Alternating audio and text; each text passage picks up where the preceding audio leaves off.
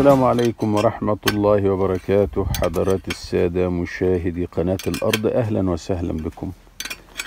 النهاردة حضرت لنا شركة نيفرتاري لمعالجة ملوحة مياه الأبار وحاليا بنعيش مراحل تركيب أحد الأجهزة.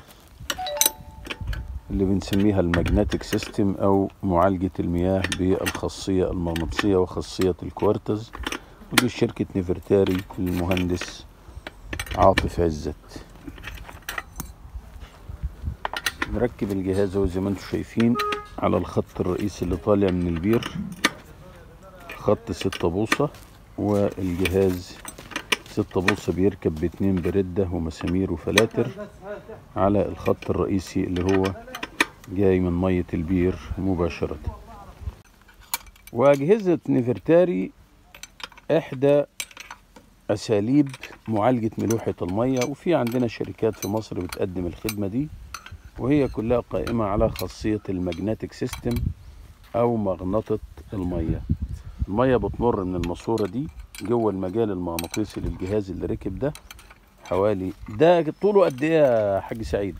دون 110 سم 110 سم ده قطره 6 بوصة مش كده؟ 6 بوصة آه. مصنوع من الاستانلس من الاستانلس الطبيعي.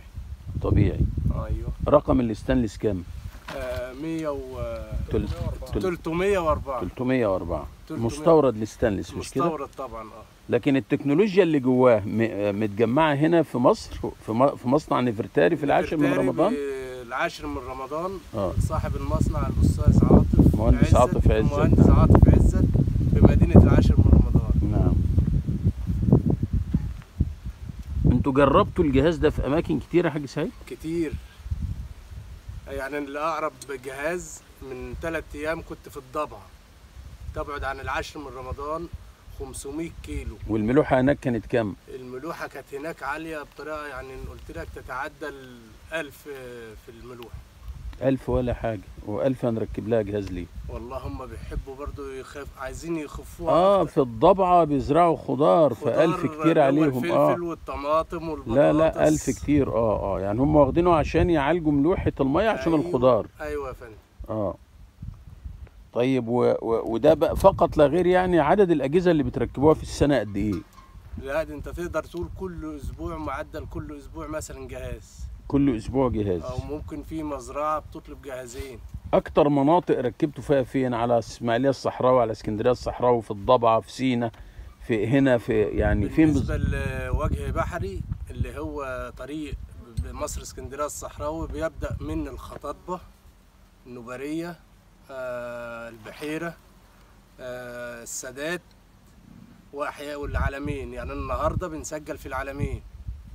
إحنا هنا آه في منطقة وادي النطرون غرب الطريق الدولي غرب العالمين آه. أيوه. منطقة الجعار تحديدا يعني. أيوه يا باشا. فجهاز نفرتاري دون من سنين. يعني أنا شغال مع المهندس عاطف بقالي 17 سنة. ما جالكوش مشاكل خالص لا. يعني. ولا عمرنا جهاز رجع لينا.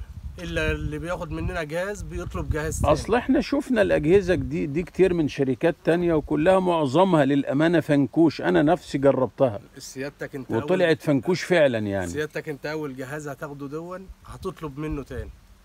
خير يعني إيه؟ مية النيل يعني تشرب منها ترجع تاني؟ لا يا فندم. بتعادل بتعادل مية النيل بالنسبة للزرع. ما شاء الله ما شاء الله ما شاء الله. طبعا هي بس الكلام عشان الكلام العلمي ال magnetic system طبعا ما بيعزلش أملاح هو بيضعف الروابط فقط لا غير في آه، بين روابط الأملاح الموجودة المعقدة اللي موجودة في مية الري وبعدين بيزيد التوتر السطحي للمية.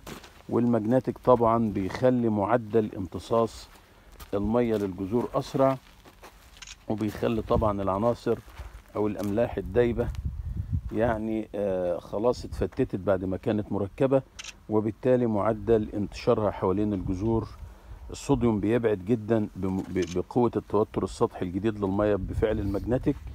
وبعدين ال- الأملاح اللي اتكسرت ممكن بالفعل النبات يستفيد منها حسب ال availability بتاعتها وحسب كميتها وحسب نوعيتها كمان يعني. وده كان آه، جهاز نفرتاري طبعا دلوقتي خلاص شغلنا البير وده جهاز 6 بوصة راكب على خط 6 بوصة والبير ده معدل التصرف بتاعه حوالي من 80 إلى متر مكعب مية في الساعة وبيروي 60 فدان زيتون وهنجرب ونشوف. وآدى البحر وآدى الغطاس وقالوا الجمل طلع النخلة. جبنا الجبل وجبنا النخلة وقلنا اطلع يا حاج سعيد. شكرا جزيلا. كان معكم محمود البرغوثي وأجهزة نيفرتاري على قناة الأرض.